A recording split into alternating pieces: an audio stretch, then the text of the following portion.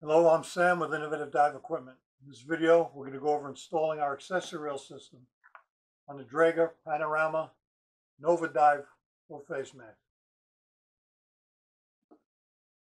In the kit, you'll receive a left and a right accessory rail. If you look at the bottom of the rails, you'll see there's a left and a right. The bottom wire mount and the top wire mount. Then four of these thumb screws. To begin, take the mask. You'll notice there's a lug. Take the right rail, put it on the right side of the mask. Get the rail roughly oriented parallel with the faceplate. On the other side, same thing. Once you have the two rails on, I'm going to start with the bottom wire. The bottom wire into the two holes in the bottom of the rails. After you've done that, take a thumb screw and get it started on the wire a few turns.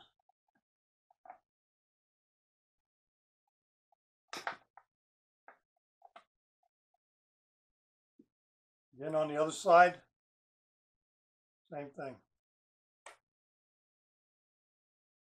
Few turns.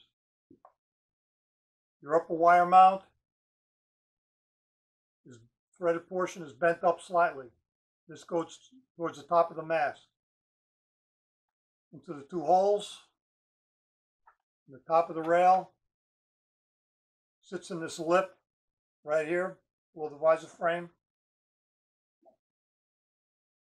Thumb screw.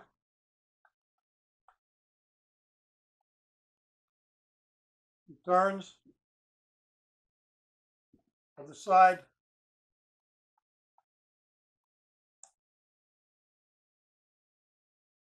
Few turns.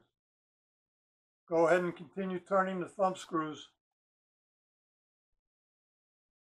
until the threads are no longer visible. Other s- Other side of the mask. Same thing.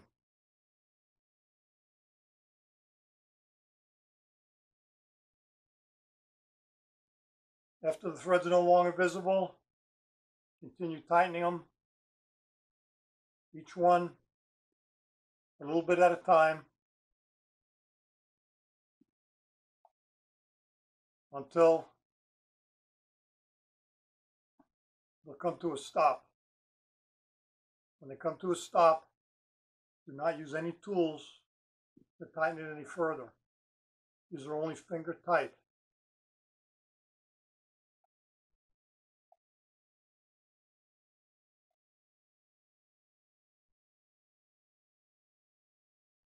Once they're tight, grab the mask by the rails, try and shake it. it.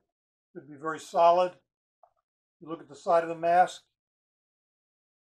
You have a uh, an orientation that's roughly parallel with the faceplate,